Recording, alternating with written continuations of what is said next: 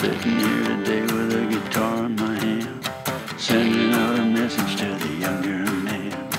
Practice makes lucky, baby. Sometimes I wonder if it's all